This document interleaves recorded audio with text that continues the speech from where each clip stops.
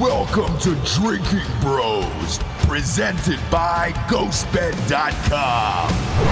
Welcome to Drinking Bros, kids. Uh, we got one of your favorites, your childhood favorites, in the house today. We got Mr. Jaleel White. How are you, Jaleel? It's been a while, man. What's up, dude? no, we got our mutual friend Bert Marcus. Yes. Uh, he's an amazing documentarian. How to make money selling drugs. Check out his doc. Yes, how, how to make money selling drugs was his. Um, that Instagram doc was also his. Um, Yeah, that was dope. which was really which was doc. amazing as well. I did a feature film for him uh, in 2008, and he was one of those young hustling dudes that you meet in Hollywood that you can tell is is going places where you're like, ah, shit, he'll figure it out and uh, and make it work. The only other one I met like him along the way was uh, a guy named Jason Blum, who uh, obviously owns Blum. Oh yeah. Blumhouse. I did a movie, I think his first movie for him back in the day, and now he's gone on to do nine thousand horror films that are That worth billions billions of dollars. And uh, and Bert put us together, and uh, you had written a script. You're, you're a very talented writer, and uh, and we had met about it. And uh, you know, uh, one of the first things he said was, "Hey, man." You know, uh, he's not just Urkel from Family Matters. Like, he's an awesome dude. And, like, uh, when I walked into the bar, it's a true story. It seems weird that you would even have to like. Of course, he's not. That character doesn't exist in real life. But people You know in I mean? real life People are treat dumb you as like shit. that. People are dumb as shit. Yeah. So like, I walked into the bar, I and I see this good-looking dude sitting at the bar, and I'm like, I did double take, and I was like, oh shit, I think that's Jaleel White, right? yeah, he didn't know. He was actually trying to pick you up. He didn't know you were the guy he was supposed to meet for the first half hour of the interview. I exactly. Yeah, and just I was like, holy Yeah. shit, like that that dude's a he's got to be a poon slayer. um, so has to be. Are you married now? Everybody, everybody's got to calm down. Everybody's just got to calm. Everybody's got to calm down. Everybody's got to calm down. Are you I'm, married LA, now? I'm, I'm LA born and raised, man. You know, I'm proud of that. You know, when you grow up in LA the way I have, you get a chance to see a lot of walks of life, Mm. a lot of different people come and go. Uh, people like myself and our buddy Bert that we're mentioning here. You know, Yep. we're we're this is our home. You know, we've been here for all our lives 30 40 years you know what i'm saying so you just sometimes sometimes people have big wide-eyed dreams of la and we like uh-oh we know we know where that's headed we know where that's Yeah, headed. yeah. Every single time. yeah, you're going to end up working at a restaurant until you're 45 years old. Exactly. Li- living in a one bedroom Yeah. in Van Nuys, With trying five to figure it out. Roommates. Yeah, yeah. Um, and right before the show, we were talking about it because uh, you know we, we have another mutual friend, Christine Lakin, who starred on Yeah. Step by Step, um, and uh, she's one of my best friends in real life. She's been on the show numerous times, uh, and then Ross Patterson Revolution as well. And she would always talk about the transition from being a child star to growing up and then continuing your career in the industry. And yeah she went through it she went through it yeah, uh, and I, I would have to imagine it's the same way. She had a really good attitude about it, where she was just like, you know what, man, I was amped about it, and she came out of it normal. Uh, so did you, um, I, I think at least. But um, uh, but it's hard for a lot of people. i'm right? only wearing a hoodie because i'm having a bad hair day that's it i'm not this is not a cool guy thing it's really it's just it's it's very slavey under here right now and i don't feel like combing my hair Did you say slavey? Slavey, I like that. I've never It's- heard it's- that it's- phrase before. It's That's very good. it's very Django-ish, my hair right now. It's very Django-ish. They weren't they didn't they didn't hand out too many brushes and combs on the plantations back then, bro. No, no, I wouldn't imagine. Yeah, it seemed like that was a bad deal. Yeah, Yeah, yeah. it was a Being a- completely a- effing bad deal that we tried being, to yeah. resurrect with this election, and thank God it just got shut down. uh, look, we have a lot of listeners that go both ways on that. Um, with the election, Uh, with the- they're gonna, gonna go to one way today. They're gonna take that L and they're gonna hold it. Gonna I, hold we'll, it. we'll see. There could be a recount. Who knows? Yeah, who They knows? can recount these, baby. They can take any one of them states they want. Well, we can get into politics get if you want. This could- Civility is making a comeback. Well, Civility Uh, is let, making me, a comeback. let, let me ask you this. This is a serious question because we don't have a lot of people from uh, that are lifelong LA residents, right? Yeah. And LA, LA sucks right now, and it's mostly because of uh, the leadership there, and that leadership. oh yeah. They're all Yeah. they're all kind of on one side of the political aisle. And So I wonder, from your perspective, what the fuck is happening in Los Angeles? Like, Honestly. like, yeah. Do, do you think that when you drive the streets? Because I, I lived there for 18 years, and like, dude, I uh, when I was there, I loved LA. Like, I'm not one of those people Yeah. who shit on LA, and I was like, man, I loved it. And there was a there was a good 10 to 12 year stretch where it was really clean and nice, and the transportation system was great. LA from like 90 to like 2002 was like the shit. Yeah, I, It's pro, just pro, pro- awesome, right? probably, It was ba- probably like basically it was like when, when USC got popped with all of its football allegations. That's when it started going down. yeah, right? Reggie, when it Reggie Bush and all his bullshit. yeah, yeah. Come on, dude. uh, Reggie Bush and all his bullshit, but uh, more, Yeah, right. More All that- importantly, like, dude, we hadn't been there in a while, and like the homelessness has gotten so crazy. Oh my gosh, it's it's it's terrible, man. Every freeway underpass. Mm. I mean, even the Veterans Memorial, they were the, the tents were lined up outside of it over in um, the Westwood area, and now they just opened the damn thing up and just said, "Here, come on in." And now it's Mm. just turned into this whole park situation. It, it's really, really, really, really sad. And and what's what's really bad about LA is that we've become comfortable driving past tragedy. Mm. Yeah, Yeah, That- I mean, that's what's yeah, really co- un- unfortunate. it, it it's is. like you, it's it's weird. I mean, it, you you you feel me on that? yeah, you know what you- I'm saying? Where it's you- like people are just getting too comfortable just driving past and ignoring tragedy yeah, right, it's, next to them. it's not great, but I mean, look, that's that's just kind of the way it happens here in America. We uh, we want iPhone, i uh, iPhones and hot pockets. Yep. And if we got those things, we usually ignore everybody else's problems. There you go. Typically, There, you- there, there you go. It's- There you and go. You break it down. that is that is ubiquitous throughout the political landscape. Oh, oh, that You know was, I that was hold on, was that was a huge word, buddy? yeah. Let me- Oh, sorry. you know, you know, you, yeah. Look that one up. There you go. Oh, let's, Starts with uh, a let's U. Go ahead and uh, You and then Explain that ubiquitous. for our listeners. Ubiquitous after that. Um, It's I want to make sure I get the uh, definition right. Yep. Uh, there it is. Uh, no, but I, I felt like I felt like this. uh, found everywhere. there you go. Um, there you go. appearing or present everywhere. there you go. Okay. No, but I felt I felt like this like after COVID, man. I, I felt like the homelessness took over because now it's creeping up into Hollywood. I don't know where you live at. Are you uh, in the? Are you in I'm a Hollywood? West or- Oh, you're on the West West Side. Okay, cool.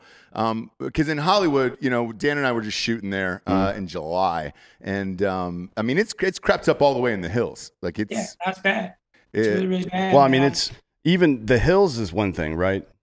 But when you see like camps on Vine, Mhm. like all and the it- way up like Vine, yeah. all the way up Vine, that's I never thought I would see something like that. I didn't. You know what I mean? That's like going to the Chelsea Piers in New York and seeing homeless people everywhere or something. Like th- those areas are typically blocked up, but I guess there's no real tourism happening right now. So what what, would- what would the impetus be to keep that clean? Half of those fucking businesses are closed right now. Yeah. You know yeah. what I mean? And, and somebody asked me this. I was on somebody else's podcast last week, and they asked me, they were like, um, what was it like growing up in Atlanta? Because I'm, I'm from Atlanta originally. And I was like, you know, it's weird. The Atlanta changed as a city when the Olympics came in in 96, right? Because I was a kid growing up there, and they had cleaned up the entire city, transportation, all that stuff, because they were worried about the world coming in and thinking that America and, and Atlanta in particular was a shithole to live in. Um, my best guess for LA is that it won't get cleaned up entirely until the Olympics come in uh, in 2028. Um, what do you think about that? Is it 2024 or 2028? Shit, is it? Is it four? Is it only four years away? This year has lasted so long. I think it's 2028. um, yeah, it is. Yeah, 2028. Yeah. Uh, so Okay. it- it's got about it's got about seven or eight years, and they'll look. Everybody will wait to the last minute on that. Uh, what are your thoughts as a as a lifelong Angelino there? I mean, look, I don't think this is a, a necessarily a political issue at all, um, because a lot of the politics associated with the governance in LA are not even consistent. I mean, technically, we're probably the most conservative behaving place in all of COVID, um, like in the country. You know, we we're not, we our kids aren't back in school. Our our sports leagues are shut down. Mm. Um, I'm talking about like just local, like my daughter and stuff like that. You know, the the, the, the COVID measures for, for protection are are higher than any place else, any place else. Um, and um, Well, I except that, for any, I except don't for think when any of that people. crap has to do with whether or not you're freaking Republican or Democrat. No, of course Uh, not. Well, I mean, it, just- it, We I- on some lib, we on some just uh, freaking libtard paranoia out here, to be quite honest. what do you mean by that? Just I don't I don't know, but just I, it, it's I think we all know how to protect ourselves. You know, at this point, you know, um, when I'm in public, I wear a mask, Mm. especially if I'm indoors. It's, I, I pretty much do it as a courtesy to everybody else. Right. Um, and but if I'm at a if I'm at a house where we all feel comfortable, Mm. then you know we just limit our touching, and, and it's and it's gonna be what it's gonna be. Right. So You no know- no orgies from Jaleel White is what he's saying. Uh, yeah, no, no, We're not We're not We're not knocking them off two at a time right now. We not we, know, we I'm, I'm I'm into some I'm into some heavy one one on one action right now with one particular person. Well, that's uh, good. You know, your COVID boo is important. You got to have COVID boo, Yes. and uh, so I'm, I'm I got a good COVID boo right now. I'm it's like with co- my COVID. it's like cuffing season. It's like cuffing Yeah. season, yeah. Uh, Same deal. But it's deeper because it's like, where have you been? It's true. That's true. Uh, let me, I let me feel like the conversation just started now. Everything else we said before, just get rid, just dump that crap. Yeah, this dump- is now the it. conversation got started. We talk about COVID boo. dump it. Yeah. Uh, let me ask you this: like uh, acting wise, um, most of production is is shut down and, and everything else. Um, are you worried about any of that uh, as far as like you know the roles coming back, or or just movie theaters in general coming back? Man, the loss of movie theaters has been huge, huge. Hmm. It's it's I mean, it's just- about the same something as the loss of DVDs back in the day, right? That was a big revenue dump for a lot of people that Oh, were yeah. in the industry. Oh my gosh, yeah. But I've been fortunate to act about three or four times since uh, since July. Uh, I've, I filmed in Philadelphia. I filmed in Georgia. Um, I filmed locally here. So um, uh, they've been sending COVID people to my house, you know, shoving the Q-tip up my nose since July. And uh, the only difference is when you're on set acting now is you just have these people in flak jackets that are always reminding you of social distancing, and um, they literally let make you wear your mask during rehearsal and you only take it off between action and cut, which I think is absolutely silly. But again, you just you have to abide. Right. Well, I mean, it's for it's for insurance, right? That it's getting Yeah. a getting a film insured in the fucking first place is a pain in the ass. Right. Um, and getting it insured these days has got to be way worse. Yeah, because I I, mean, I I, I, I had a show that was supposed to shoot in the summer uh, in July, and they could not figure out a way around you know the the COVID procedures, and uh, Right. and it got pushed. Um, and they were looking to shoot next March, and I Mm. was like, no, I like you know that's too long. Um, but you know, going forward, I look Regal is uh, is shut down their cinemas. Um, movies, uh, not only are you not able to go to theaters currently in, in Los Angeles and New York and the big places that, that traditionally bring in that type of money for a box office, but they don't have any product to put in the movies, even if the theaters were open, because every studio is holding it back. Yeah. Is this the end of movie theaters? Man, I don't even want to answer that, man. That's such a scary thought. Mm. I think, um, you know, I had already begun upgrading myself to the. Uh, you know, my daughter, when she go to the movie, she's like, "Daddy, are we going to the ones where the seats go all the way back?" Oh yeah, So- yeah, yeah. So I feel like the higher end movie theaters will be the first to return because they're already naturally a lot more distanced. Um, but as far as you know, a theater situation where people are are, are sharing an armbar, um, you know, it, um, almost like in, in a Broadway situation, though a traditional theater, I, I don't know. Like I, I don't, I don't. It's all about insurance. Yeah. The funniest part about it, the, the, not even funny, the, the, the saddest really part about the whole COVID stuff is it's more about insurance than it is about anybody actually caring somebody catches it. Yeah. Yeah. Yeah, No, it's, it's, a it's a very it's a cover your ass type situation that everybody's Yeah. on right now, and I, I understand it. I guess in some ways from some of the local and statewide leadership in a lot of these states that have shut down. But man, we got to get our shit together. Uh, it's it, it's not. It- you're- right when you say it's not necessarily a political issue, but it's certainly been made one. You know what I mean? I Oh yeah, It- but that's but like I said, I don't. I listen. I don't really care who anybody voted for. I feel sad if you don't feel a responsibility to denounce racism. I definitely feel sad about that. well, who who's who's not who's not denounced racism? What are you talking about there? Well, you know damn well what I'm talking about there. Mr. Cheeto refuses to denounce racism and Well, white supremacy. Come on, dude. There, there's literally uh, after that that was a thing for a week, and then somebody put out a video of him 25 It's not, a times. thing for, it's not a thing for nothing, man. It's, it's real simple. I mean, I'm dead serious, dog. You're not gonna let somebody drive a car through Charlottesville and just be like, well, those were you know very fine people on both sides. Fuck that. Well, like, did, come on. did dog. you did you watch the entire video? Because right afterwards he did. Yeah, he, I've like, the entire video. Okay, because like 10 seconds after what you just quoted, he said that all these white supremacists can get fucked, basically. So in the same video that you're referencing, I, I haven't seen that. quote. I, would- I would lo- I would love to see that quote. Yeah, I, sure. I, I, I mean, would love to it's it's Yeah, you can look it up on YouTube. I, I think that's one of those things that's been uh, leveraged to to polarize something that wasn't necessarily a good idea to polarize. Like, like any anytime anybody's trying to intentionally divide people, that's not a good thing.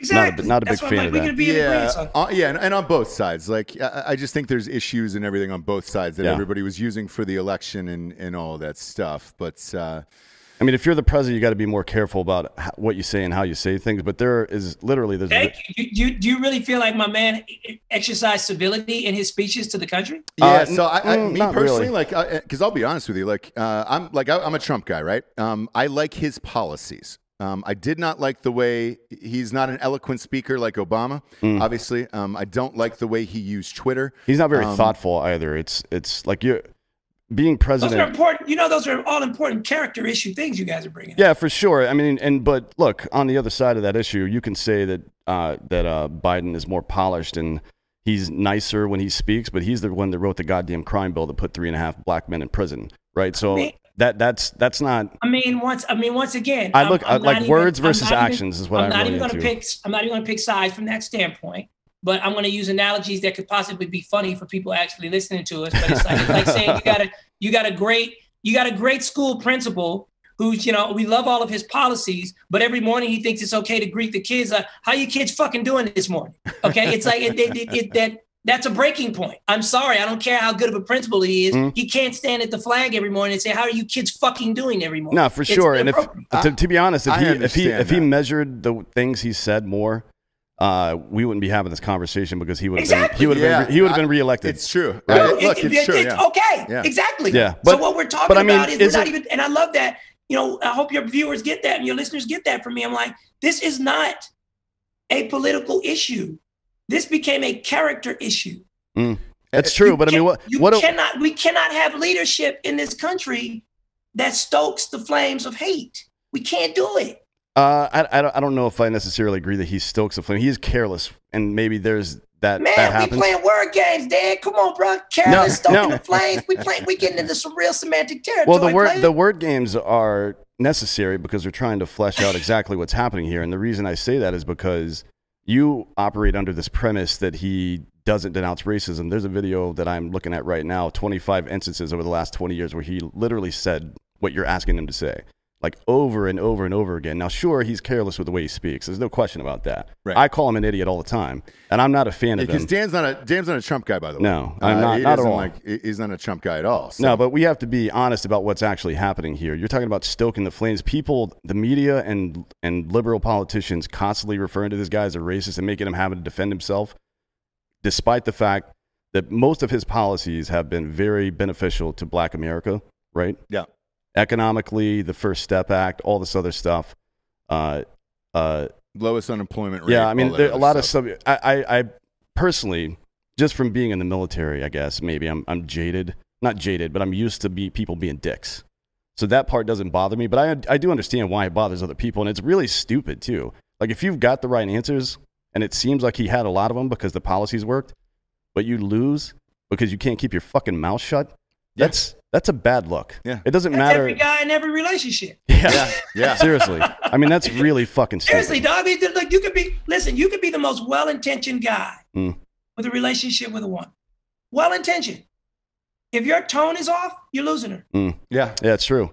So that's, I mean, all these Republicans are pissed off right now, I'm sure. A lot of them think there's voter fraud issues and blah, blah. Maybe there is, who knows? Maybe we'll find out, maybe we won't. But we, we as Americans have no one to blame but Trump for losing that election. If you wanted him to win, you don't have to blame Democrats. You don't have to blame the media. You just blame yourself, blame him. Yeah. For not holding his feet to the fire and him not fucking keeping his mouth shut. That's what really happened. I mean, honestly, if you like Republicans took way more seats in the House than they were expected to, they're holding on to the Senate, and everything else worked out for Republicans except for him. Yeah. So that's a symptom, probably. I mean, look, there may be some fraud here and there, but th- that's a symptom of him being a cunt. Yeah, and be I, honest. and, and I think I think that's why you, you've seen like we haven't seen him in the last few days, and that's very rare. Obviously, He's been playing So, golf, yeah. Yeah, uh, it, it is one of those things where yeah, I, I think um, if he was a more eloquent speaker and everything else, he probably would have gotten reelected. But I don't even uh, think it's about eloquent, man. It's just about basic fucking civility. Mm. It's that, it, that. I don't even want to talk about policies. Come on, you guys. We, we're too cool. We're all the three of us. We're too cool for that. Let the other people debate that stuff who actually have more knowledge of the individual policies. I, as a father who sits on a couch next to an 11 year old girl, Mm. and she says to me, Daddy, why does he keep cutting her off? Why, why won't he let her speak? Why is he so rude? Why is he so this? This is an 11 year old's observations.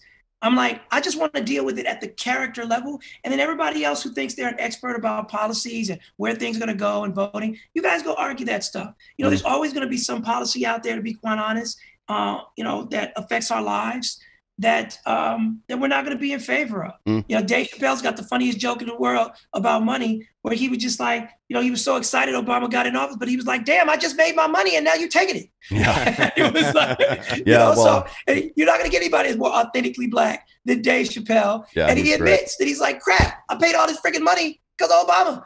Yeah. Well, I mean, it's coming again. You're you're in LA. Your your uh, marginal tax rate is about to go up to about sixty percent, fifty eight percent. I know everybody keeps talking about this thing, and we, we'll deal with it when we get there. I don't. I don't want to deal in hypotheticals. I'm. I'm. My, my therapist is telling me stop dealing in hypotheticals. deal with. Deal with. Deal with. Deal with what is is is the reality for you today. See, my therapist keeps giving me uh, hallucinogens, which I think is the opposite.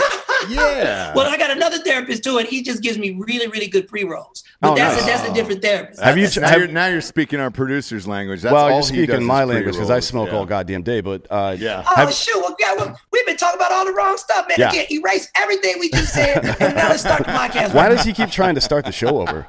Jesus Christ! Uh, no, we have you tried any of the uh, ketamine clinics out there? They're all over the place now. Yeah. Have No, you, I haven't. Have you experimented in any of that? Nah, man, I'm I'm pretty much straight cannabis. I don't uh I don't like I don't like doing too much other other than that. Uh, but I like a high quality. I like a high grade. You know what I'm saying? Like a good wedding cake, a good. Uh, I actually have you some know, wedding maybe, cake at home. That's maybe good. some biscotti or Motorbreath. I like. I'm a flavor chaser. Mm. Ah. Yeah, there's wedding cake is a good one actually. A lot of those flavors, uh, they just don't taste like anything really. Uh, yeah, but it's a good sell. like Gary- when you walk in. Nobody makes a good purple Urkel. I'm I'm annoyed by that. Nobody makes a good purple Urkel. is that uh, is that your Ben and uh, Jerry's ice cream flavor? Did they ever make that? What happened? yeah, did they? no, did- they, they, they, never, they never did. That's uh, it's a strain that everybody knows. Purple Urkel out there. Everybody. Nobody nobody's made a good one. No, no, not, and you always see it, but they, yeah, you're right. They've never made a good strain of it. Um, Yeah. The reason why he was asking you about uh, the, the tax rate and everything is, is everybody's m- leaving LA. Yeah. There's a mass exodus to, Yeah. to where we are actually in Austin, Texas. Um, seems like everybody's going to Austin or Nashville for some reason. I like Austin. I'm going to have to come out there and go drinking with you guys. Yeah, I dude, like let's do it. It's a blast. It's fun. Uh, it's it's a great no, I've been there. It's, it's lawlessness what you guys got going on. The people just pass out on the streets, and the guys on horses just trot by. It's an amazing thing to see up, up It's- close. Yeah, It's- they, they it's a still very- have the horses, by the way. It is, yeah. It's it's a very interesting city for that reason. It's wha- like the "stay weird" attitude, which is their the motto here, right? Uh, is I think a symptom of how goddamn wild it is when you get a bunch of young liberal people that still share a lot of the conservative values like gun ownership. And, Yeah. and and libertarian values like I want my drugs and I want you to fucking mind your own business and stuff like that. It's a really interesting confluence of people here. Yeah, I think Austin might be the most, in my opinion, American city. Oh yeah, I, I agree with that. Yeah, yeah, it is definitely Like it 50-50 represents here, everybody for here. sure. Yeah, E- everybody's here and everybody's welcome. And uh, those guys, those cops are still on horseback, by Yeah. the way. That Yeah, never but changed. even policy wise, you know what I'm Oh, saying? yeah, Just how sure, you yeah. handle drinking, Yep. how you handle socializing, how you handle football, how you Mhm. handle late life. Yeah. Like just yeah, uh, in your businesses, you know, you you guys really go out of your way to support local business. Mhm. When I was there, I was blown away by the names of businesses. It was like Ruby's Barbecue and Dan's Hardware. It was Yeah, yeah, yeah. wild. It was like there was no Home Depot. You know, there was no. No, Yeah, it's, I mean, still it's- like that. I yeah, just watched a, uh Netflix doc last night on uh, an 85 year old grandmother who cooks barbecue.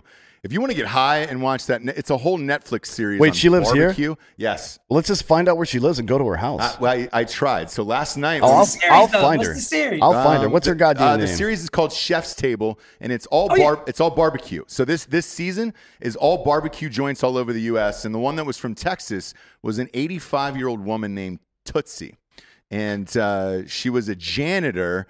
Um, and then her, her husband ended up dying. She, she opened up a barbecue shop. So she puts it, she uses her mop from, from being a janitor and puts the barbecue sauce on the ribs and everything else. Hopefully it's clean, but you know, you never know, obviously. Um, but uh, they've been selling out for years and years and years, uh, and she's become like a, a celebrity here. She's 85 years old, um, but Wow. they had to shut down for COVID. But you're right, like Tootsie Tomanetz. the and the name of the barbecue place is called Roses, by the way. Um, Okay. and See, that's uh, important. Yes. Well, I just want to Roses. go. I Write just, that down, everybody. Roses. roses. I just, So- I'm just gonna go to her house, dude. Fuck all this. yeah, right. Um, but uh, you're you're right. Everything in Texas is still like that, where it's it's kind of uh, one name. Uh, you know it, and then the, the other locals have their own favorite places, but it's also somebody else by one name. Where it's like, hey man, Yeah. go to that other place with one Yeah. name. It's great. This isn't a place where you come open up a bunch of chain restaurants. I mean, there are chain restaurants here, obviously, because you have to have them here. Yeah. But uh, I don't. I doubt. I doubt their market share is as high here as it is anywhere else in the country. It's probably way lower, right? Yeah. Like people don't go to Ruth's Chris here. They go. To, it's Texas. You can throw a fucking rock in any direction and hit a fucking cow. yeah, it's like going to You an what I Olive mean? Garden in Times Square. You're just Yeah. not going to do that. It'll never happen. And it's yeah, th- that's what I love about this shit because uh, we meet with all these uh, restaurateurs, restaurateurs. I don't know how Yeah. what the word is, Yeah, yeah, yeah. And uh, bar owners and shit. And it's it's a they run the entire gamut of life experience, political beliefs, uh, like race and culture, all this stuff. It's very interesting to see that because you when you think Texas barbecue, you think like oh, it's some fucking dude with a big, big belt buckle, you know, standing over a smoker. But no, it's like some fucking uh, gay Asian hipster that's 22 years old that figured out some new recipe and now he's got a great fucking restaurant. Yeah. You know what I mean? Yeah, and we It's- had we had a, we had a, Put it on we've had a few of them on the show. yeah, Yeah, it's I I'd love that shit. That's that, so like I guess just back to your point, this might be the most American city that exists right now, Tell at least right I, I, now. I wasn't blowing smoke. I, when I that was my assessment when I went there. I was like, wow, just from policies to Mm. food to governance to interaction to even racial mix. I was like, this is the Mm. most American city there is, Austin, Texas. yeah, it's a blast. Are you so? Would you ever leave or no? Are you there for for life? You think?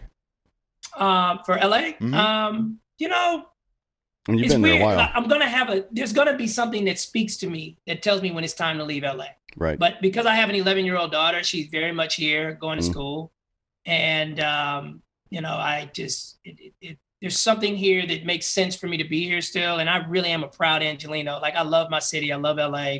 You know, we just Dodgers just won, Lakers just won. We didn't get a parade. Wow, what an amazing phenomenon, and no parade for either.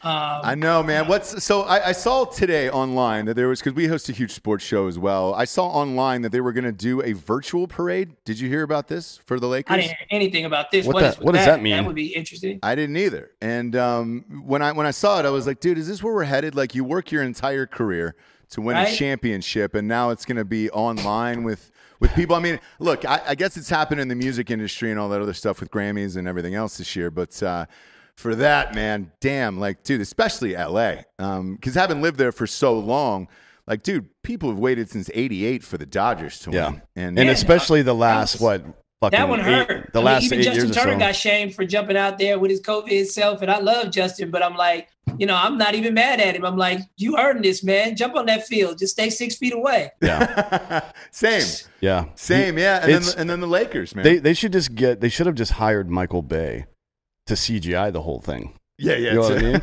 Just make a movie called uh, L.A. Parade and fucking have you know just make fake parades and then Why not? show that on. then there's TV. huge explosions in the background. Yeah, every, put whole everybody on green screen and have Bruce Willis come in with an RPG. Three hundred million dollar budget. Yes, easily for the Lakers. Yeah, Uh, are you? Are obviously being from Los Angeles? Are you a diehard Lakers Dodgers fan?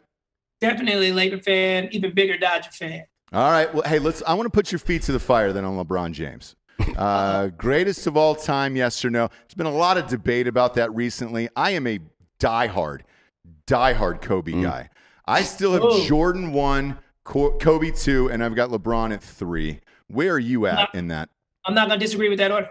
Okay, good, good. I'm not gonna disagree with that. order. I, I think I, I kind of get annoyed by the ordering in general, though, only because the rules have changed so Yeah, much in basketball. You know, they're allowing traveling now. You know, that you can't hand check. There's, you know, the, the, you're scoring 200 points uh, in All Star games. It's, it's, you know, I, I I'm always going to give a special edge to guys like Magic and Mike and Bird um, because of the, the the the sheer physicality that they had to endure every night Right. and without modern technology, without all this private jet stuff, you know what I'm saying? I'm like, these dudes, these dudes were literally like smoking cigarettes at LAX, waiting on their flight. Yeah. Yeah. Like, Yeah. And then get, you know, that you and it's like you had a fight with Bill Laimbeer. You, you know, it, it was a technical. and you Yeah. didn't even get thrown out of the game. Exactly, You yeah. lived to fight to fight to the second technical. yeah. What's that guy? You know, it- who's that guy from the Lakers that had the glasses? The Kurt coach now? Rambis. Rambis. Yeah, Kurt that Rambis. man. That dude. I just want to see him fight people. I don't care what else he does in life. Dirty right? Curdy. Don't you Yeah. remember that famous clothesline? Like Yeah. when he got clothesline, that famous ball clothesline. They're Yeah. playing Boston. And it's just like that's like a freaking hockey play, man. Yeah. I'm like, you know, this this modern generation can't even relate to that Mm. level of physicality going through the Detroit Bad Boys to win a Mm. championship. So, Yeah. you know, I'm not saying that LeBron couldn't have done it. I mean, obviously he's a tank, Yeah, he but is. the fact of the matter is, it's just that's not the era that he played in. Mm. And I'm always going to give an extra, you know, a bit of respect for the guys who did it in the short shorts. Yeah, yeah, fought. Yeah. Well, there's a there's I a agree, there's a man. I think there's a pretty good argument to be made that LeBron James is the best athlete in American history. Yeah, I say athlete. Yeah. I, I could put him up top five greatest Yeah, 'cause- athlete. You know what I'm yeah, saying? yeah, but for again, sure. don't forget about a lot of other people out there, Jackie Robinsons and stuff like that, who did Yeah. this in multi, multiple sports. A lot, a person, a lot of people like to forget and don't, you know, because he he got injured too soon. Was Bo Jackson? Yeah, Bo You know, there Jackson. was actually Bo a time where best. technically Bo Jackson was bigger than Michael Jordan. Yeah, Yeah. I remember they both had buildings on the Nike campus. Yeah. And Bo was the Bo knows. He was Bo the two knows, sport yep. guy. Remember Yeah. that? yeah, he's. I mean, you got to put Bo Jackson there. You probably got to put from from this era. I would say uh, uh, LeBron James and probably Mike Trout.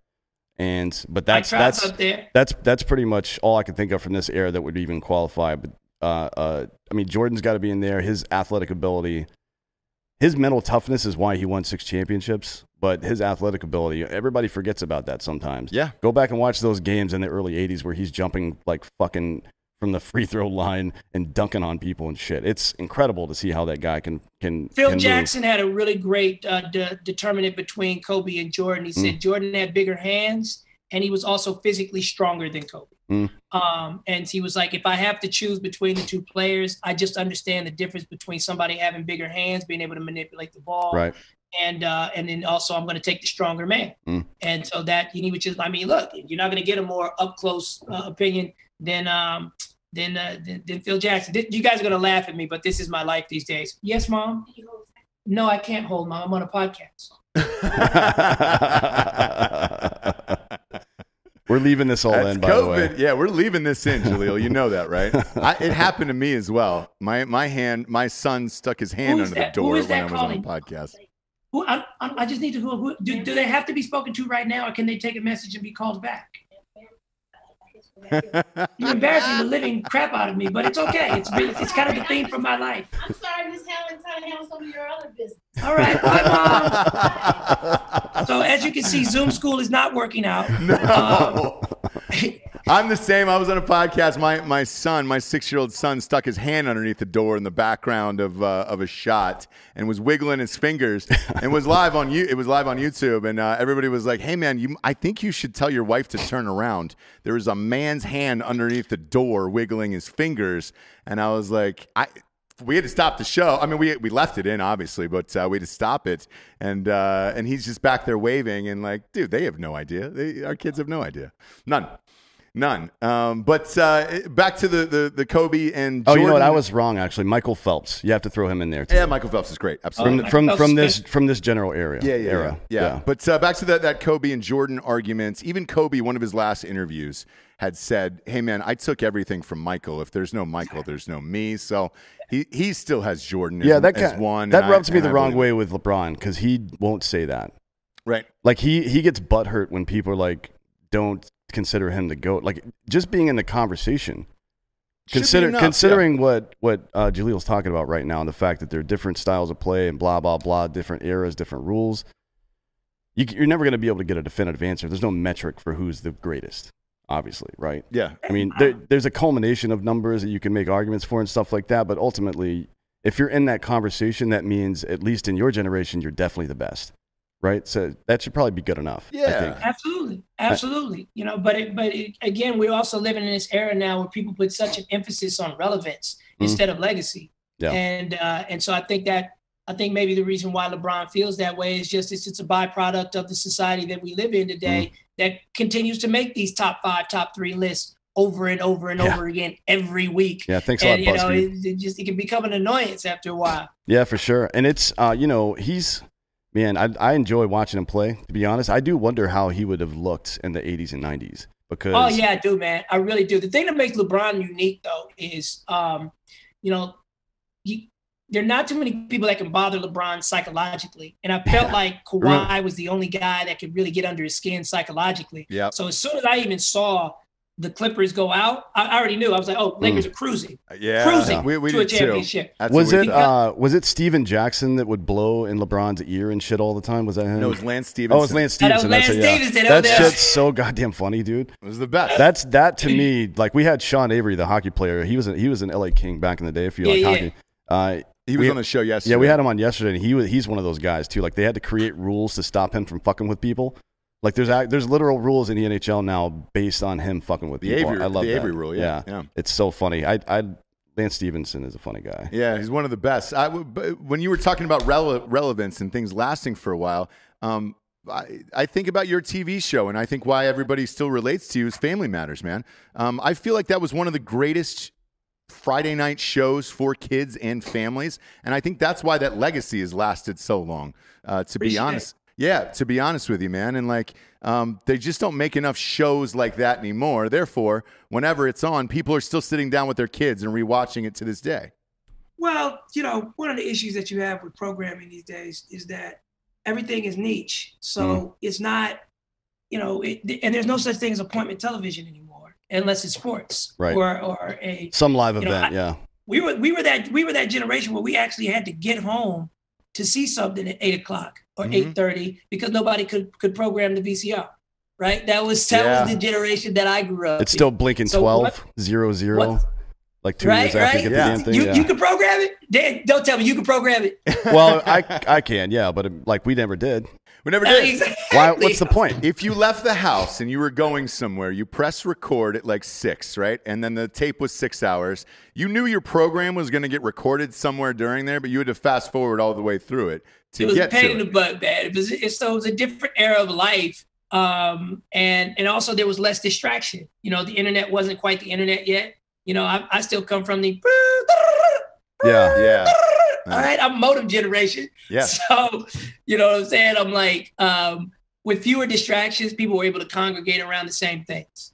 And and and now with you know, I, I half the time I don't even know what my daughter's looking at until I go look at her phone after she's gone to bed, and I'm like, okay, wait a minute, what the heck is this? You know, it's it's it's it's it's just everybody's on their own devices, going in their own different directions, and you know, and and you know, so you don't have to make things for everybody anymore. Right. that's why it's fun when something gets made for everybody. I remember I went and took her to see Jumanji, Mm. uh, too, the, the the sequel, and it was like, even as a movie, I thought that was for everybody. It was great. You know what I'm saying? I was like, I enjoyed watching it as an adult. The kids were digging it, and you know, very few things play on both levels for the adults and the kids anymore. Yeah, and I, and I think that's why they're remaking a lot of things, like a lot of Yeah. shows over and Well, over. Well, they can't again, figure like out how to do it Full again. House and, and Like- everything else. Yeah, What would it, what would you?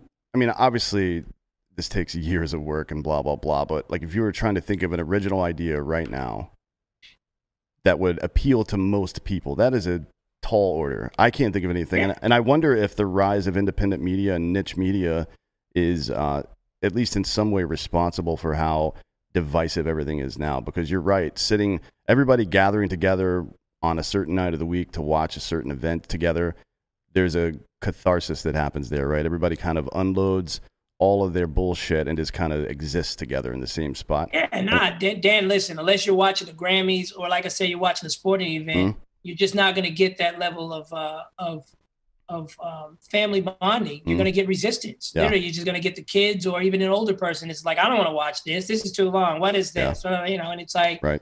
it, you just didn't even think that way. Like watching, I mean, I'm, I'm, I'm going to say a show that's been banned from the air, but for me, you know, Thursday nights watching the Cosby Show at eight o'clock was just such a staple in my life. Mm. It was so huge. It's a staple in a lot of people's lives. Trying to negotiate with my mom to just stay up and watch a different world a half hour later, which is like it was was a thing. Mm. family ties, I'd be trying to sneak and keep my TV on and the sound down to watch my you know, Michael J. Fox. And yeah, it was just a different time, man. Different time. yeah, and they, I mean, they they used to grind out hits too. I mean, shit, Cosby Show, two two seven. Oh man, I'm so proud of you as a white man for saying two two seven. You're welcome. I'm so that- proud of you, dog. You're Isn't welcome. that uh, Florence something or other? What's her name? Uh, What was her name? about the Jeffersons. Oh no, I'm talking about Jeffersons. Yeah, yeah. Yeah. So the Talk the Jeffersons. I, But I it was grew- Marla Gibbs. Marla Gibbs was in both. I grew up in Atlanta, so uh, my life because TBS was still TBS back then, but it was a local station, not a you know global station. Right. And so the only things that would show over and over again um, were like, dude, two two seven would show over and over again. Oh the shit, Re- Jeffersons. Regina King was in that. I didn't realize she was that Yeah. old. Yeah, dude. I forget about that. Regina King Yeah, still uh, looks identical to this day. She too, looks like she hasn't aged a goddamn day. at all, dude. Holy shit. At Hey. all, it's crazy. Um, Rich Black don't crack. I know it really doesn't, dude. Uh, that's why you see all these white guys fucking tanning all the time. Like that's the only way we can compete. Um, since you were famous, like so, so at so young, did you get to meet a lot of that young talent in the '90s that was back then? Um, I met everyone. Yeah, like I, I'm because like I'll Lakin used to show me pictures of like all the people she was with, and it altered my mind, and I was like, I, I met everyone. I met everyone. There's nobody I didn't meet. I met everybody. who was who was the, who was the best? Yeah, yeah. I was I was just gonna ask you. Do you have a. Michael Kelly, Jackson story? Whatever. Met them all. I met Aaliyah on the sidewalk on the streets. Mm. You know, I was like, wow, you're really cute. You know, in my mind, I have no shot. I have no shot. um, you know, she was standing next to her brother. She was awesome. You just like gazed at her. Um, Because you guys, was- you guys were the most famous people on the planet. That TGI Friday block, dude, at that time, and Thursday night, that Thursday night and Friday night block. yeah, I mean, you guys met everybody. Like, met everybody. I, I- I almost played one-on-one basketball with Tupac, almost on my lot because he was shooting uh, um, Poetic Justice Mm. um, Great- on uh, on our lot. movie. And at that time, John Singleton was just like a hero to any black kid that even thought they wanted to be in film. And John would invite me to the uh, to editing room sometimes. That's when they were still cutting film. You know, they was it, everything wasn't uh, wasn't digital. Um, and um, you know, I just there's nobody really honestly that I, that I didn't meet. Uh, Sylvester Stallone, Arnold Schwarzenegger, whatever. Yeah. Um, um, I, I remember Charlie Sheen uh, being at the opening of a Planet Hollywood, and everybody was making such a fuss over my talking Mickey Mouse watch, and he took off his fifty thousand dollar Rolex and was like, "Here, let's switch." I think he'd be shit. drinking a lot that evening. I don't think uh, Charlie drinks, actually. that doesn't sound right. Let me check the end. Oh, yep. Checking the internet, he definitely drinks and Yeah. does a ton of cocaine. Did you keep the watch, or did he take it back? You know, again, I didn't know what it. I didn't know what it was. I, he was being very serious at the time, but a friend of his came back was like, "Come on, man, I got to get this watch back. Come on, I, I can't let I can't let Charlie do that." I was like, "All right," and then then somebody came up and told me, it was like, you know, you always get you always get that nerdy materialistic person. that's like, you know, that was a fifty thousand dollar Daytona. Was- Yeah, yeah, yeah. And you're like, dude, I, don't- I have no idea. Uh, what was Michael Jackson like? Um, Michael was uh, Michael was interesting. Um, Michael was very. I, always like to credit Michael as being the most self-aware um, entertainer of all time. He knew how famous he was. He knew how he affected people. He liked what he liked. Um, pretending to be a child every day was something that he did to escape reality you know um and so when i met him i just felt like he was almost drawing me into a conversation that was beneath my age i met him backstage at the naacp image awards where i matter of fact won one of those things that thing right there There it is. Show Um, off. There it is. and um he was um he was summoning all of the the the winners to his dressing room and even that that's pretty self-aware when you think about it you know where it's like oh i'm not going to go to a party and mingle with people and hope that i run into somebody Mm. just have all the winners just come by and greet me when they're done. right right and uh, there were like two kids in there that were dressed exactly like him his lovely mother catherine and like a whole bunch of comic books and action figures on the table and we just had this discussion about comic books and i'm like i don't even read comic books but if he wants to talk about comic books i'm not going to change the subject because this is michael jackson yeah, what? It, that's got to be strange, right? How old were you at the time? Uh, i was probably about 14 probably about 14 somewhere 14 or 15 one of those So when you were talking about having younger conversations, like he was trying to to treat you like a little kid, and at 14, Yeah. you, yeah, yeah, Exactly, exactly. And, and the thing I always, I, I, I kind of, I don't want to get in trouble by saying this, but it was like Michael kind of like, you know, his interactions with kids was almost kind of like, was almost kind of like dating. So it's like when he met a new kid that he that was more that he was more interested in, he kind of stepped off the old kid and, and started hanging out with the new kid. So forget about what you think took place. You know, that's your own personal opinion. But still, it's a little weird to have an adult take a liking to you and then all of a sudden they're just kind of off you, Yeah. right? yeah. And that and, and and I think he did that a lot. Um, and um, that's an unusual way to interact with with with minors. It- You know what I'm yeah. saying? So it's like I, I I I won't even lie, I was a little jealous because he gave me his phone number and, and he didn't call me back.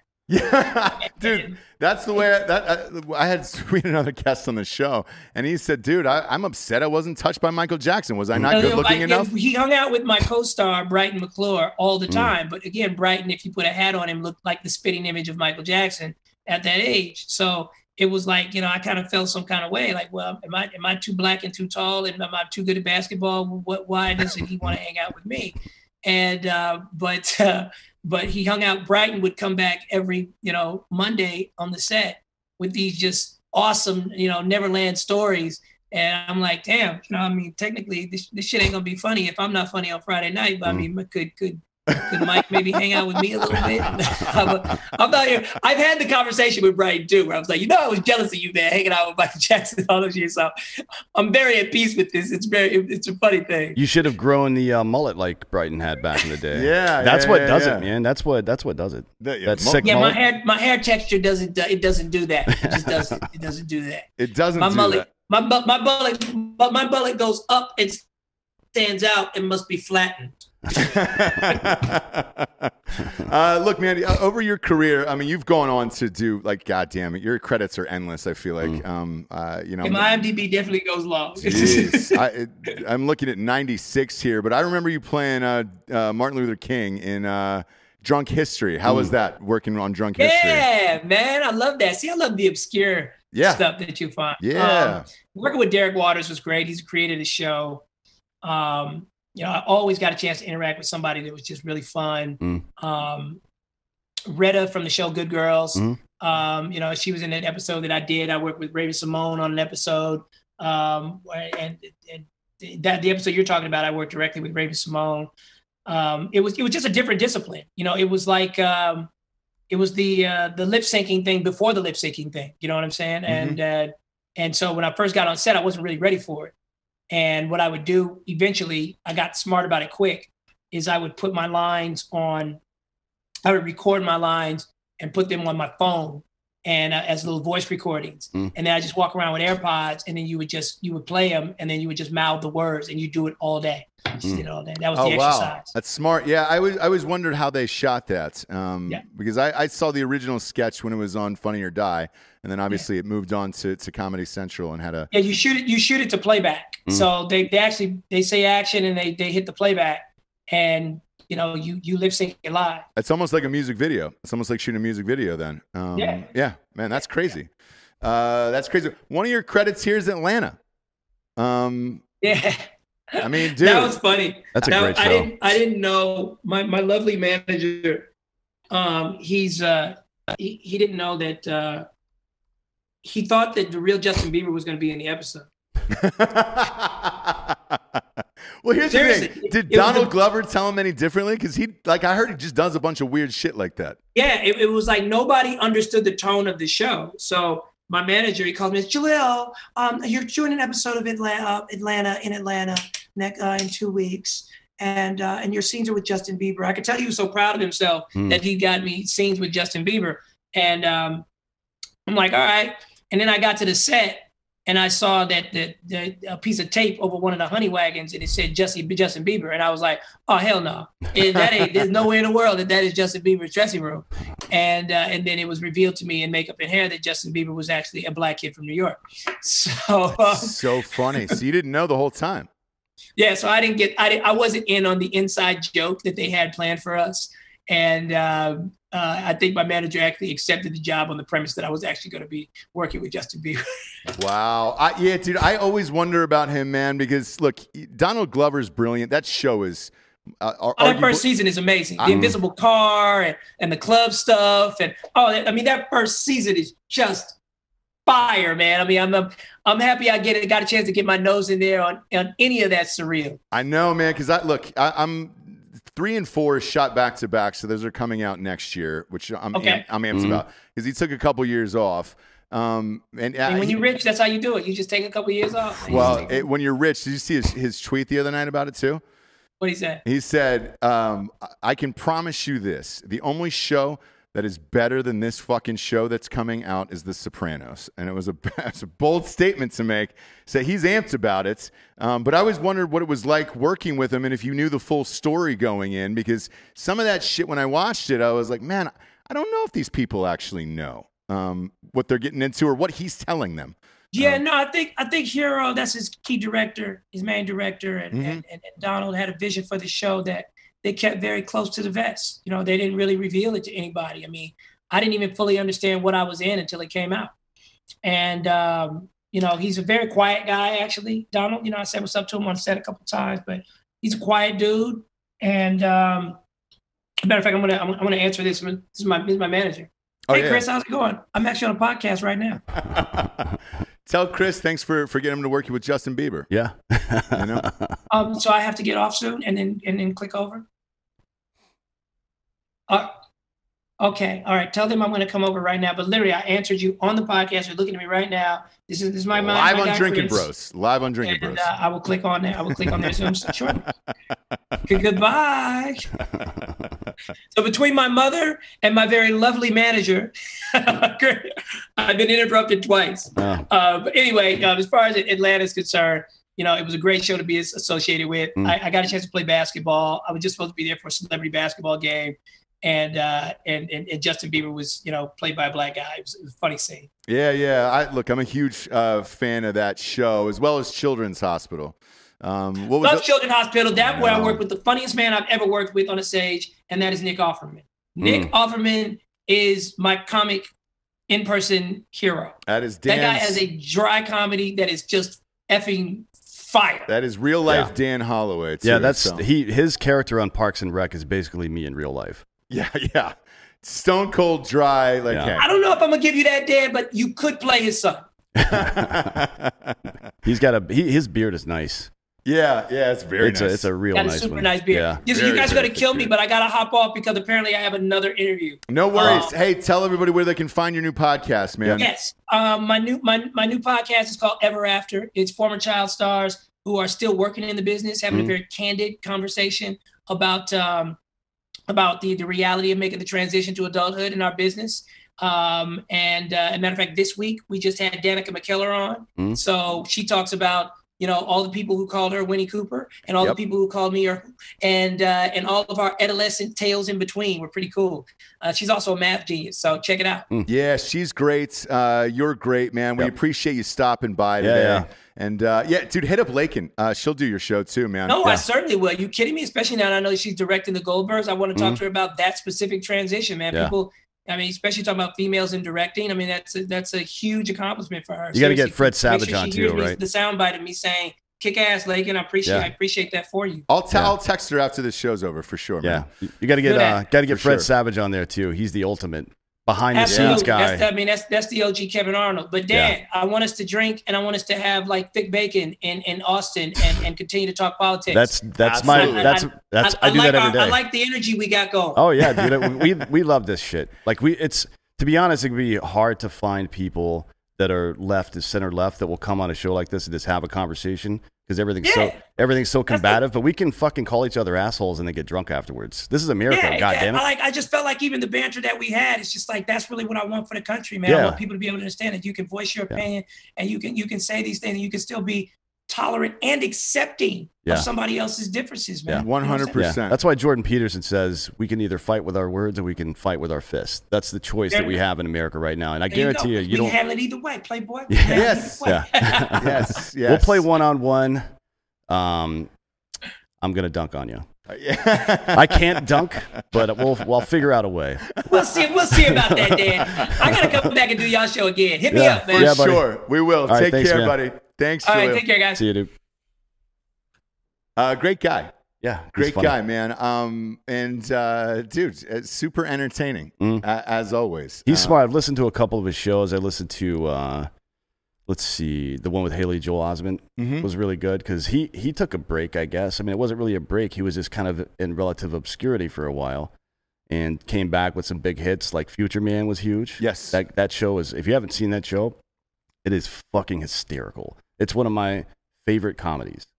uh, comedy series, and and uh, he's done other stuff now as well. He's, Yeah. he's writing and producing and things like that. So it's interesting to see how these people navigate through that bullshit. Because some folks just leave it all together.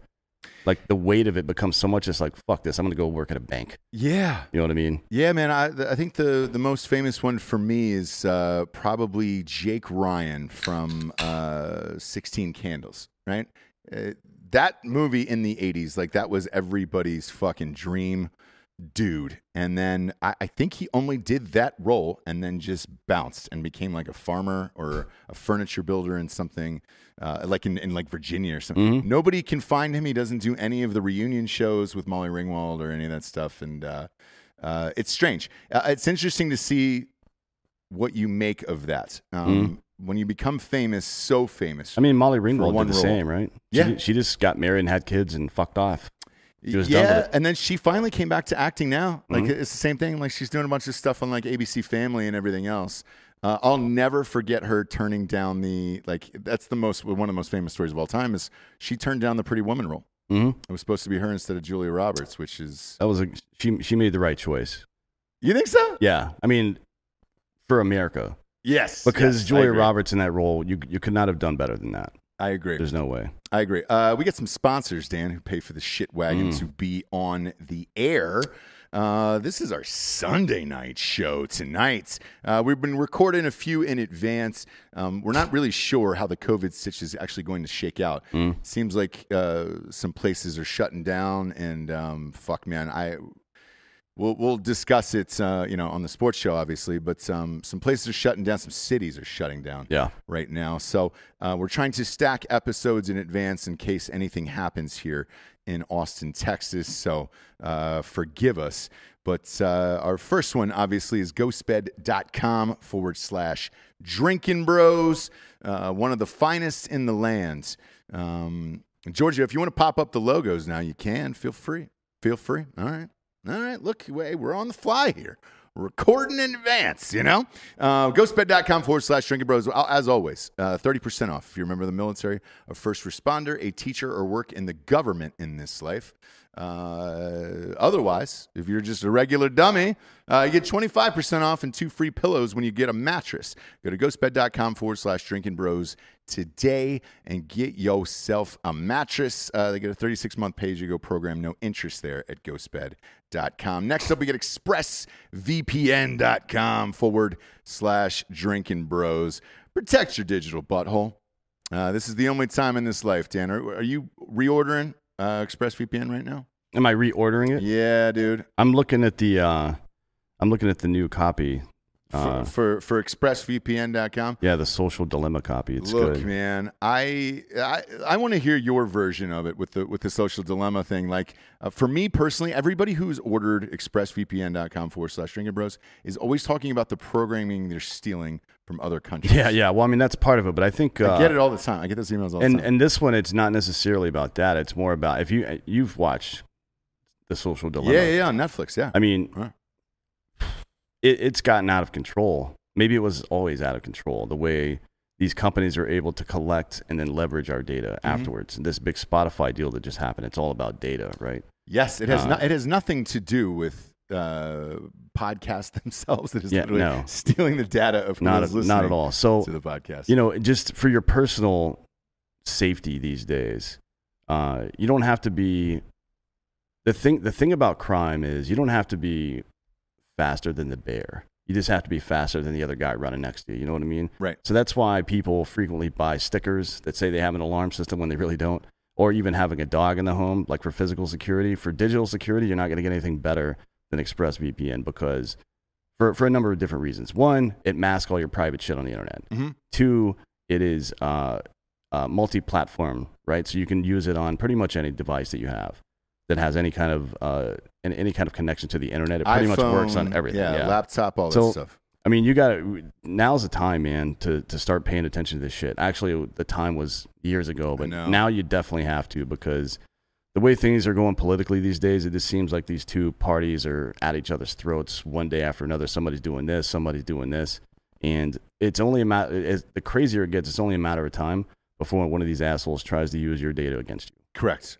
right? Correct. So ExpressVPN.com slash Drinking Bros. Correct. Uh, it is seven dollars a month. If you sign up for a year, you get three months for free. Uh, we've had it forever. It just it runs seamlessly in the background of all your electronic devices. It is necessary at this point. Uh, next up, we got buyraycon.com forward slash drinking bros finest headphones in the land. Uh, we're talking to Sean Avery about these headphones. Um, he loves these goddamn things. I was listening to his new show, dude. Um, yeah, it's good. uh, it, it- not only is it great, but um, He's funny as shit. he, dude, he talks about his running with the Raycons in. It's hilarious, man. Um, look, the best bass there is. Uh, they're durable, they're long lasting, they recharge in a little tiny box, so you're good to go. Uh, and it lasts up to six hours um, of wireless. So uh, right now, if you're trying to buy some wireless headphones, man, good luck. They're expensive as shit. Not at at uh, at buyraycon.com forward slash drinking bros. Uh, you get 15% off with that personalized U- URL and uh, knocks them down to about 65 bucks and and they last forever. Great sounds. Go to buyraycon.com forward slash drinking bros today and get you some headphones. Last but not least, I'm wearing this watch everywhere. Uh, VinceroWatches.com. That's V I N C E R O Watches.com. Um, man, they're, I, they're, I think they're only running with us for, for the Christmas, right? Uh, yeah, I mean that's the time of year when they they do most of their advertising. But these watches are fucking dope, man. Dope. Uh, look, I've been wearing it every day, and I this one in particular, this rubberized band, man. Um, obviously, Yeah, it's like vulcanized rubber, but they also like come off. So there's this little pin right here Uh-huh. on the bands, and you just do like this. Yep. And you, I mean, it's the easiest thing of all time to get these things on and off. You can get whatever watch face you want, Mhm. and then you can buy different bands for it. You can buy different sets and stuff. I mean, it's these watches are great, and it's also pretty affordable. I mean, if you're thinking about going out and buying a nice watch that you're gonna wear in a suit or out at a nice dinner or I, weddings, so I coach, whatever it is. I coach my son's soccer team. Right. Um, obviously, Blue, Blue Dragons, Team of Destiny, God's Children. Um, I'm recording. We're recording this in advance. I'm coaching the championship this weekend, so I've been wearing this all throughout. I'm going to go ahead and say we've already won the championship. How about that? Uh, you'll know next week if I bring the trophy in, obviously, but I'm going to say we won the championship. So you're going to bring your child's trophy in to well, our show. I get a I get a coach's trophy. So yes, I will bring the coach's trophy in. Uh, I will bring my child's in as well because I have a feeling they're going to be uh, different size. Fake Dan is shaking his head behind camera. What's what's the story there, Fake Dan? You don't think is it is? It, well, I had. Two, what do you mean 28-3? Is that what you're best- referencing? Two of my best players were out last week. Yes. Oh, you didn't. Hear Mm. no, I didn't hear about that. Let's finish this ad read and then we can we can Well, talk no, about your here- shame. Here's why this is important, right? So, I, I've worn this watch all season. This has been my good luck watch. I refuse to take it off. And this is how I, because the, the kids play in quarters, not halves, because they're so young. So I time the quarters on this watch. And I've worn it the entire year. I'm not taking it off now. Um, uh, the VinceroWatches.com has, has brought brought me to this point of a championship. I'm on a, on the brink of it. I'm three nights before. Um, again, Blue Dragons, God's children, everything. This could be the championship watch, is what I'm saying. well, they do have a pretty dope blue face watch. This is what it is. I've got the blue face watch on. There it so, is. Uh, Vincero, all I'm saying is this: if if I win the championship this weekend, like I should, you think they should give you a free watch? I think not a free watch because I don't I don't like to ask for free shit. What I what I'm thinking though is that maybe me and my son do the ad campaign and magazines and stuff like that for the watches, and then just call it Vincero watches, the watches of champions. Um, so you know, your call. It's not a bad idea. Your call. Uh, go to VinceroWatches.com today and uh, use the promo code Drinking Bros. Is it 15% off now? Um, um, yeah. Yes, uh, 15% off at VinceroWatches.com. This has been my good luck charm this year. So I'm going to give them a little extra love today because I've been wearing this shit for uh, the entire season and I feel confident about it. Uh, Danthony, there, with, with Jaleel, um, Mhm. And we were talking about, uh, you know, favorite actors of ours. Um, By the way, it's free shipping as well. is it really? Fifteen percent off and free shipping. Yeah. I forgot- sorry, I forgot about that. VinceroWatches.com. Sorry, code Drinking Bros. Free shipping on that. Yeah. Um, was there somebody growing up that, that was one of your favorites that you were like, hey, man, uh, I wonder what happened to them or what, what went on with them? Uh, not really. No, I mean, I wasn't. I, I wasn't a huge TV person. Oh, really? You know what I Man, mean? I was, dude. Like I watched sports on TV and Mhm. I and I played video games, but I played baseball a lot. Like I to be honest, the majority of my childhood I was either working at my dad's auto body shop or playing baseball. yeah. Uh, things like being outdoors and stuff. And I I really enjoyed playing video games as well, but TV and stuff.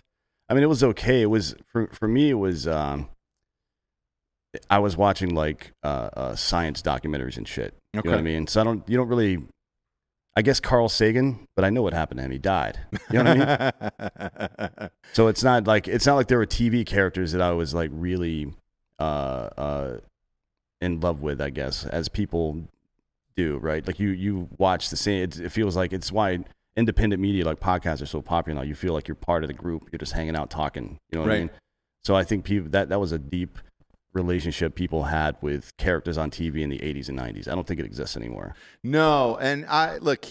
The crazy part about it to me is, um, But I did love Family Matters. Same, man. For, look, those Thursday night and Friday night Yeah. programming, dude, you did not miss those every single week. Yeah. And it is so different now. And what he was talking about, like, man, he was he was correct. It's like, dude, you really did sit with your entire family, watch these shows, and then you know, you you went to bed and all all that other stuff. Like, dude, I because I played sports all through growing up. I played Mhm. everything you could possibly play. Usually get home around six thirty seven, um, have dinner, and then we would sit from like eight to ten and watch this, you know, program like these this four hour or t- I'm sorry two hour uh, four you know four half hour shows of, of programming and it was all comedies on Thursday and Friday night and we don't have that anymore. Uh, now it's like on these weird streaming devices and all this other shit and like for me you know having a, a six year old at this point um, besides like the the game shows they put on like Mhm. Holy Moly or things like that like there really isn't that thing that we sit and watch. Man, well, I mean, they're they're on. YouTube, so they're watching. They are, yes, yeah. They're they're just watching. They're binge watching all the time. Yeah, um, which is interesting because maybe they're they're just developing like personal relationships with these, uh, if you want to call them actors or at least perform, we'll call them performers that we wouldn't have had the opportunity to back then. Mhm. But it's more of an one-on-one individual kind of thing, and it's less like uh, Jaleel was talking about earlier, less of the family sitting around the TV at a certain time and day watching the same shit. You know what I mean? yeah. But it is. I mean, it's. I don't think it's completely fractured because anytime any of these big media events happen, like the last season of Game of Thrones or Game of Thrones in general, Mhm. after the first season, the hype on that show was so big. People, there were like people were getting banned and and unfriended and blocked and shit for leaking stuff right. because people were so serious about it. Uh, and I, so I think it's still there to some degree, but in mass, like there's no there's no Thursday night CBS lineup where you're watching three or four shows right in a row No. with your family. That doesn't exist anymore. I don't know if it's because it's too difficult, like Jaleel was saying, to find something that everybody kind of agrees on or enjoys, since everything's so niche that in- general, much less having three or four in a row on the same network. Maybe that's it. I don't know, but that seems there. There's there's still we're we're always a lot more. We always have a lot more in common than we have, you know, the differences. Sure. Uh, it, it's I, I I don't understand why we haven't been able to figure that part out. To be honest, like what what would you think would be something other than sports or some kind of live TV event that most people would want to watch right now? You know what I mean? Well, I, as I was thinking about it last night, because we knew obviously Jaleel was coming on the Yeah. show, and um, you know the guests are typically booked a few days in advance, so you have a heads up of it. Um, I, I, because I watch so much sports for you know our show and Right. everything like that. Like I will try to watch things with my wife, right? Mhm. So the Bachelorette is on. Um, I know all the ladies get together and watch that Mhm. typically, and uh, uh, Mandy came over last night and she was watching it. Um, uh, with uh, Jesse, you know. Mhm. And I, I popped down to to watch it live and get the, the live reaction of how crazy it was and all this other stuff. And uh, I was like, man, for women, this is like our their sports where this shit is happening once a week. Mm. You can't binge watch it, and everybody wants to comment on the same thing because it, it gets out so fast on social media that Yep. you you know the answers and everything else. But um, yeah, for dudes, it's it's more sports. Um, HBO right now is still one of the very few uh, networks that is doing weekly releases like that. Mhm. Um, I, I, I would say this in the last year, uh, besides Atlanta, because I'm a gigantic Atlanta fan, Yeah, we- same. We, talked about earlier, but uh, that Lil Dicky show, Yeah, Was the- Dave is great. Dave, Yeah. was the one that I set my watch to, and I was like, all right, when is this coming on live? Great, I'm gonna watch this Yeah. live. It was on Thursday nights and and all that stuff, but before that, I was like, ah, shit. Mm, Yellowstone too. Yeah, I think that's yes, a big one. yes, I'm, yeah. I'm actually surprised when I hear somebody say they don't like or watch Yellow. I mean, Brittany and I all, all, all the time we're like, hey, you know, we should just go watch. We, we should just not do anything this weekend. Just watch this whole goddamn series again yeah, because it's so good. yeah. Uh, but she's got PTSD because she's worried that Beth Dutton is dead. Uh, Right. dude, I, we're not gonna give away the ending, but Well, uh, there's yeah. no, we don't know yet until season three, or yeah, until season three comes out, or season four, whatever it is, comes out. We won't know. The way that that was set up in season three, it could it could have been everybody died. Yeah. We, we have no, idea, idea. who's alive or dead, which is a very Dallas move on their part. like Yellowstone is basically a very it's a it's a more realistic version of Dallas. You know what I mean? Correct. Like Yes. I, it really is, and it's uh, one of the best shows on TV. But again, you don't have to. You can just get the Paramount app or whatever the fuck it is, Yeah. and or watch it on Amazon Prime. I don't have to be somewhere at a certain time to see it. I well, can I watch will, it whenever, I will say I this. I tried um, to. Uh, the one thing the Paramount app did though was they held back the new episodes for, For a day, yeah. Yes, Yeah. And so you were fucking screwed. So you I just like, gotta great. You, gotta fucking ignore the internet for a day. I had to go into the DVR and then record it if Mm. I was going to leave or whatever. And uh, yeah, that that was one of them. But man, that you're talking about a handful. Like, dude, that it was no lie with the VCR tape where you just put in Yeah. the six hour tape, let it record, and then come back and watch it. I used to do that all the time for Silent Live Mm. because I was a big uh, SNL guy, obviously. And um, yeah, man, then you got to fast forward for two hours, find the show, Yeah. and then uh, Well, it is what it is. I mean, I feel like you you probably touched on something that's that's correct earlier when you said that's why they're remaking all these movies because you're trying to you're trying to make something that you already know appeals to one of the groups. Mhm. You want to make that thing appeal to the other group as well, right? Right. So I don't know if it's working. Honestly, I don't know anybody that watches Fuller House. uh, my kids do. So like you know when that came out, but they didn't know what the, I don't know any they- adults that watch it. Uh, Correct, right? but uh, they didn't know what the real one was. So like that's that's a strange thing. Um, I just saw the trailer for uh, the new Saved by the Bell, which I didn't know that was happening. I, I didn't either, and it Who's in it? Sound, all of the original people, and then a new cast of kids, right? And it sounded like an absolute disaster nightmare. That I was like, please don't do this. Uh, but then I don't know. I don't get it. What are they? What's the? the trailer drops. So they're dude, they're going back to the the, the they're adults. I think uh, Elizabeth Berkley is a teacher. I believe they're all teachers at the high school or something like that. That seems like the premise. Um, and then they've got a new crop of kids. Hmm. But when I when the trailer dropped, because I was the I was getting ready to, to just be like, "Fuck you guys! This is the first thing Yeah. I'm going to scream at." Um, it was written. It's written by the people of Thirty Rock. Hmm. So it was really fucking good. That trailer. I was like, Interesting. yeah, and it was really funny and self aware.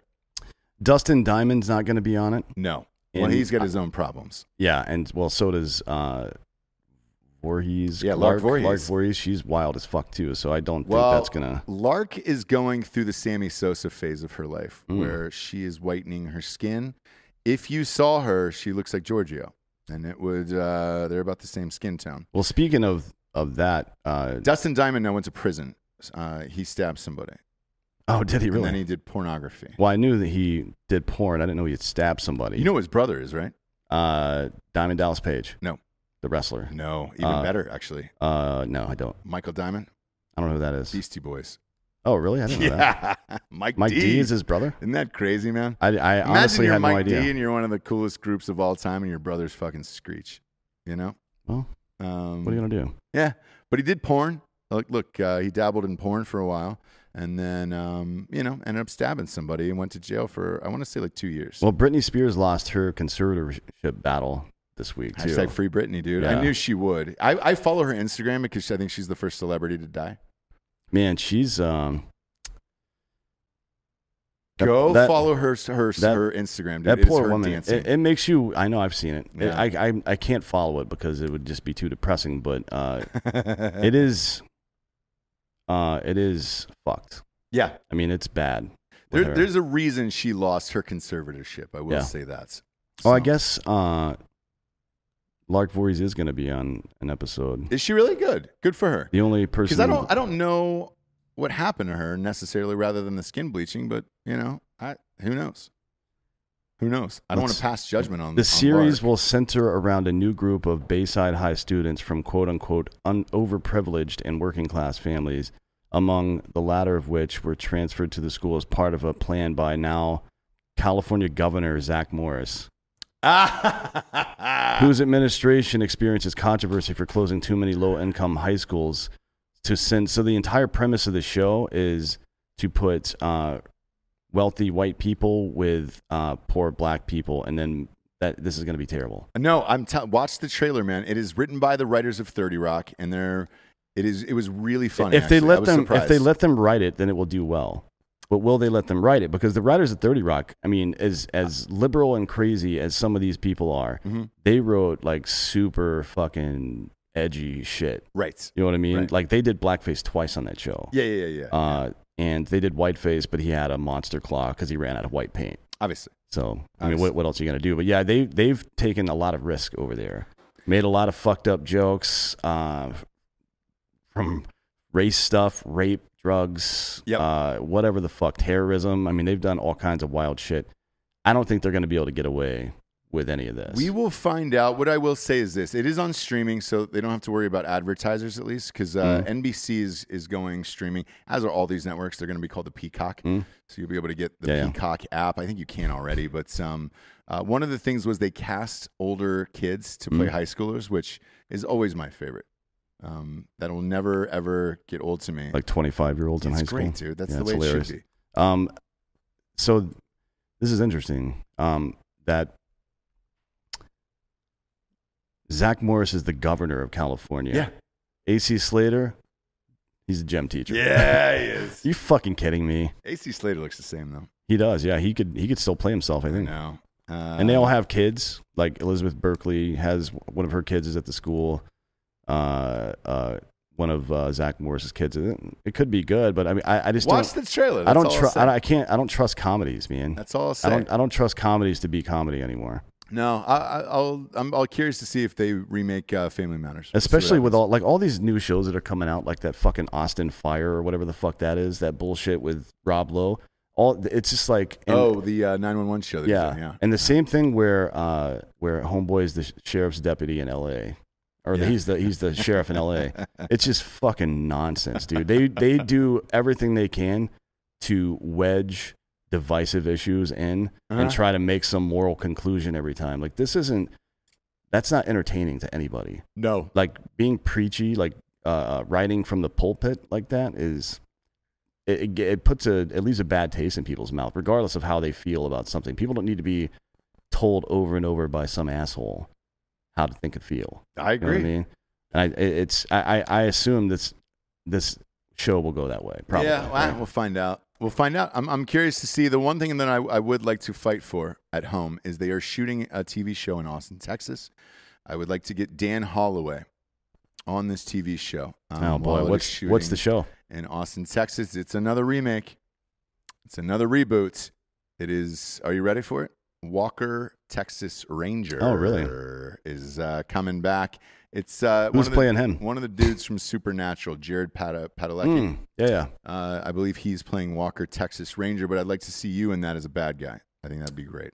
Um, so just be myself is what you're saying. Yes, yes. I would. We we when they are shooting, I would like to have a, a hashtag uh, get Dan Hollaway on Walker Texas Ranger and uh, and see you there.